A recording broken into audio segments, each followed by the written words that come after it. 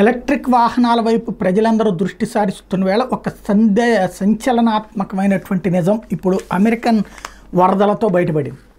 ఇంతవరకు electric వాహనాలంటే safe ఇప్పుడు ఈ మనకి యాక్సిడెంట్లు అయినప్పుడు లేకపోతే ఇంకోటి ఇంకోటప్పుడు యాక్సిడెంట్ అయ్యేటటువంటి వెహికల్స్లో ఇంజిన్ ఉంటుంది పెట్రోల్ ఉంటుంది డీజిల్ ఉంటుంది వీటి వలన అవి కాలతయ్యి అందులో ఉన్నటువంటి వాళ్ళు తగలబడిపోతుంటారు.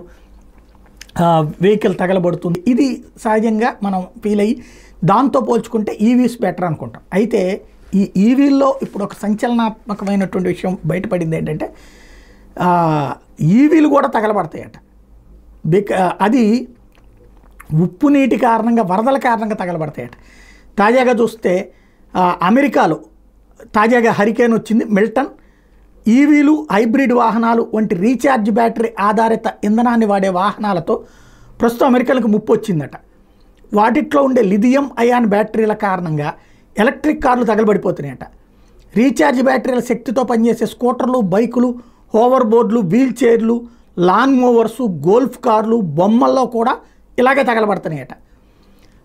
ఈ హరికేన్కి సంబంధించి ఇదేంటంటే ఎక్కువగా ఉప్పు నీరుని మోసుకొచ్చింది. అంటే మామూలు నీళ్ళకి అవ్వట్లేదట ఉప్పు నీళ్ళ వల్ల ఇది జరుగుతుందట. ఉప్పు నీటి వరద ముంపు బారిన పడినటువంటి ఈవీలని ఇప్పుడు అగ్నికేలలు చుట్టుముట్టి తగలబెడుతున్నాయట. పదిహేను అడుగుల లోతులో ఉప్పు నీటి వరద నీరు చేరుకునే తీర ప్రాంతాలు అమెరికాలో ఉండటంతో అక్కడ ఈ ప్రాబ్లం ఎక్కువ వచ్చింది. ఈవీల్లో లిథియం అయాన్ బ్యాటరీ ప్యాక్ లోపల సెల్స్ అవి మండే స్వభావం ఉంటాయట. విద్యుత్ విద్యుద్వాహక ద్రావణి కూడా ఉంటుంది.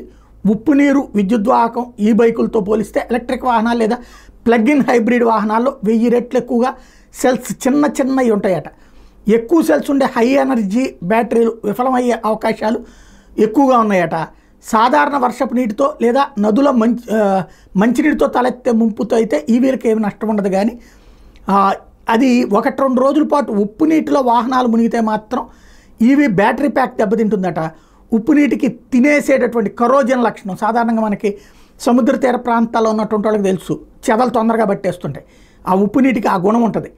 ఉప్పు నీరు చేరాక విద్యుత్ ఘటాల్లో ఉన్నటువంటి ధనాత్మక రుణాత్మక టెర్మినల్స్ అంటే ప్లస్ మైనస్కి సంబంధించిన టెర్మినల్స్ మధ్యన కరెంటు ప్రవహించి షార్ట్ సర్క్యూట్లు సంభవిస్తున్నాయట. ఫలితంగా వేడి పుడుతుందట.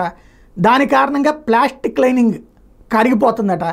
ఆ వేడి చివరికి ఓవరాల్గా తగలబెట్టేస్తుందట. ఇది అమెరికాలోని వివిధ వాహనాలు తగలబట్టడంతో బయటకు వచ్చినటువంటి సత్యం.